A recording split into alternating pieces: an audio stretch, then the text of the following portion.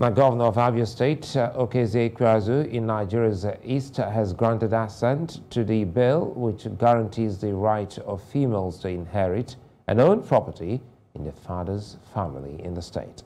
The State Assembly some weeks ago passed the bill to bring Abia State in conformity with international best practices of eliminating all forms of discrimination against women.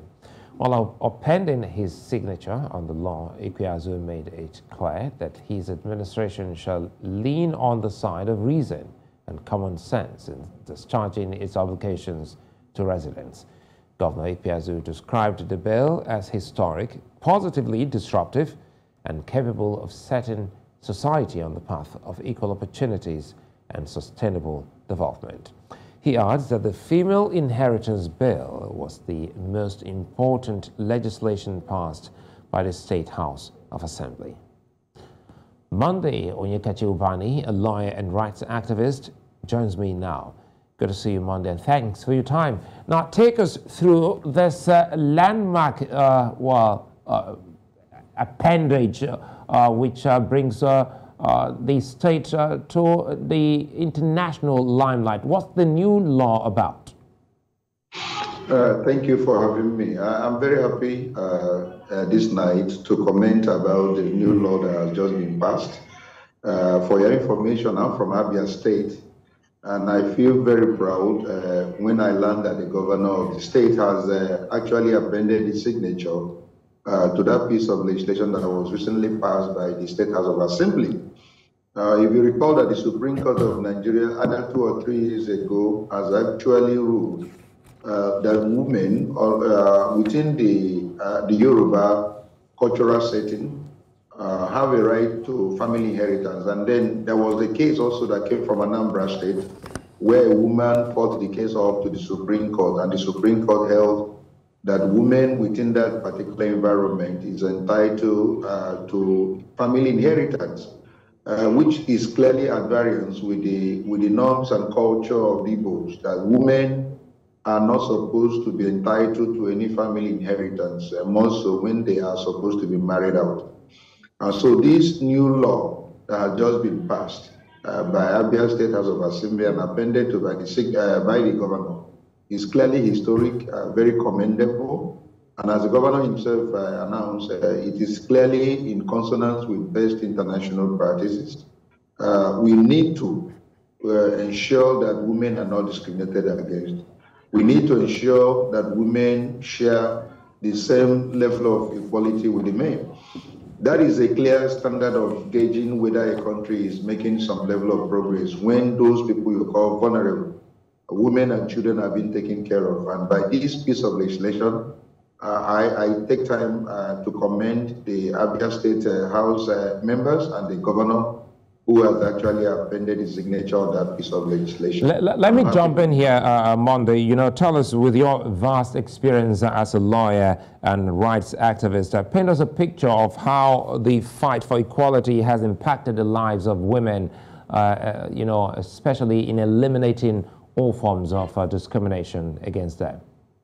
It has not been very easy uh, uh, for the women here in this part of the world.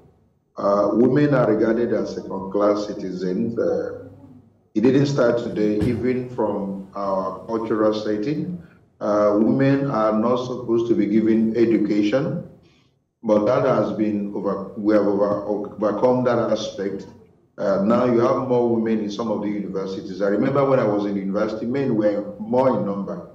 Uh, years after I left university, I learned that even the hostel that were predominantly meant for men, predominantly meant for men, are now taken over by women in University of Nigeria Nsukka, where I graduated from. So also all other universities and all that. So in that angle, we have overcome the other cultural practices of discriminatory practices that is going on, especially for the widows and all that, some of the state House of Assembly have enacted law that actually outlaw some of those uh, uh, practices that are very, very repugnant to equity and natural justice. Uh, it's not been easy. Of course, you remember the Beijing conference where women were given special recognition and all the nations of the world were asked to go back to their uh, various countries and begin to implement policies that give women uh, some level of equal opportunity. Uh, we are here to make it probably in the political arena where the women percentage of women that are in the house or at the executive level are still very few.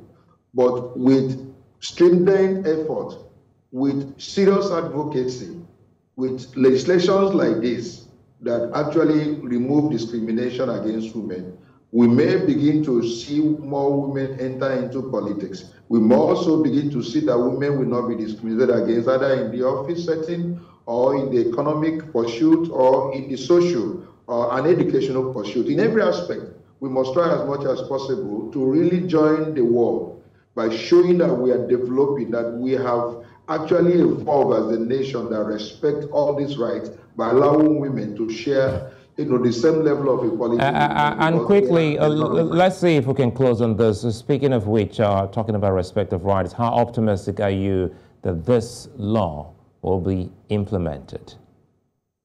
Uh, that's the, the, issue of uh, respect. I didn't, I didn't hear the question. How optimistic, I'm talking about the opti optimism you share in this. How confident are you that the law will be implemented? There is no two way about it, uh, especially if the provision of the law has some penal consequences. Uh, I have this absolute faith. Uh, immediately after the Supreme Court made a pronouncement in the case that it you know, came from Anambra, there is no more so much discrimination in terms of family inheritance. Other states in the eastern region have actually started to implement it.